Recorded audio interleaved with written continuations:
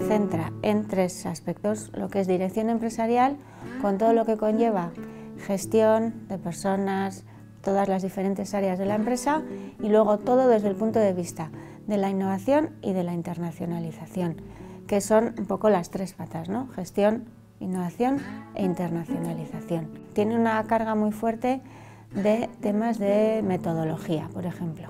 Es decir, que tiene esa parte práctica profesional, pero luego también si eh, el alumno quiere orientar un poco su carrera hacia la investigación, también te da todas las competencias necesarias para realizar pues, un doctorado, un trabajo de investigación importante. Pues yo creo que para el alumno es muy interesante porque se les facilita mucho la optatividad, o sea, hay una determinada asignatura que es obligatoria, que es básica, pero a partir de ahí los 48 créditos que tienen que elegir pueden elegir entre muchísima oferta. ¿no? Lo elegí porque hablan un poco de tema de flexibilidad, entonces no, no, te, no, te, obligan a ver ciertas materias, digamos en mi caso que mi formación es de economía, entonces no quería ver un poco más de lo mismo, no quería repetir materias que ya había visto en mi grado, sino que quería ver cosas realmente nuevas.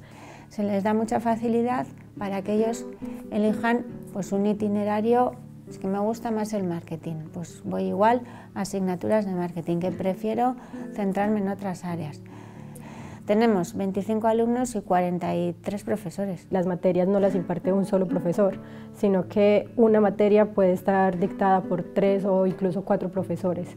Y eso me parece, mm, digamos, muy bueno también le genera un mayor nivel eh, al, máster porque no te quedas solamente como con la idea de uno de los profesores, ¿sí? sino que tienes la oportunidad de que otros profesores dentro de una misma materia te digan cosas distintas. Otro elemento, digamos, que me ha parecido bastante bueno es que los profesores, eh, bueno, tienen una muy buena comunicación con los estudiantes, eh, son muy respetuosos y adicional a eso eh, generan espacios de trabajo en equipo, entonces te permiten un poco como interactuar con los otros compañeros. Lo que es la docencia presencial es de octubre a junio, entonces el horario es de tarde, de 5 a 9 menos cuarto, así, para poder compatibilizarlo también con el trabajo. Como hay optatividad, pues igual hay meses que no tienes más que una semana de clase o solamente en la primera franja horaria, eso tú te lo vas haciendo un poquito, ¿no?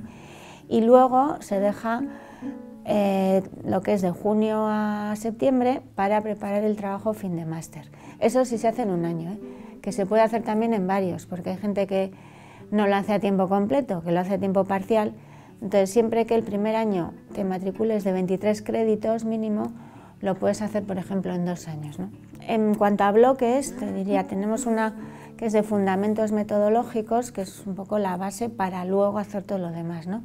Y luego hay eh, contenidos en cuanto a temas de dirección estratégica, temas de internacionalización, marketing, eh, auditoría y control, contabilidad, y luego hay asignaturas instrumentales, llamamos, que son para, por ejemplo, eh, hacer estudios empíricos, para hacer un poco de soporte de trabajos, ¿no? que son econometría, matemáticas, eh, lógica borrosa.